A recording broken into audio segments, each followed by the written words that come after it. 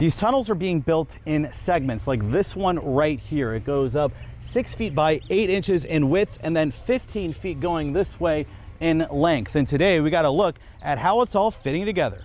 This animation from VDOT shows what the inside of the new HRBT will look like one day. But in order to get there, crews are hard at work to build what will become the tunnels. This is a, a, huge effort. Jim Utterback is the HRBT expansion project director for VDOT. He was there as we got a tour today of the Technopref precast plant in Cape Charles. The tunnels are being made in concrete segments. Nine segments make a ring, and more than 2,000 rings will make up the new tunnels. We got to look inside at what two of the rings look like when stacked on top of each other. One of the things we wanted to show is the progress that's being made on the on the project. So far, about 10% of their work is complete. Eventually, a boring machine will set the rings into place to create the underwater tunnels.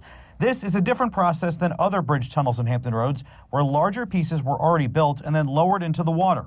This way, the machine will go ring by ring to build the tunnels. This is being done primarily to minimize the impact on the federal channel.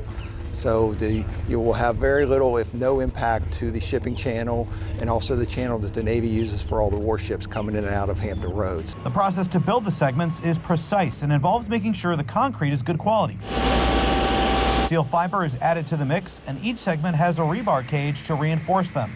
Each day, between two shifts, the crews make 54 segments or six rings. These tunnels are, um, they are challenging. The hard, messy work is meant to one day benefit us all.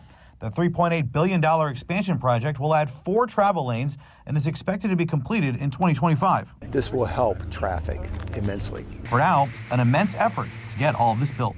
In Cape Charles, Brendan Ponton, News 3.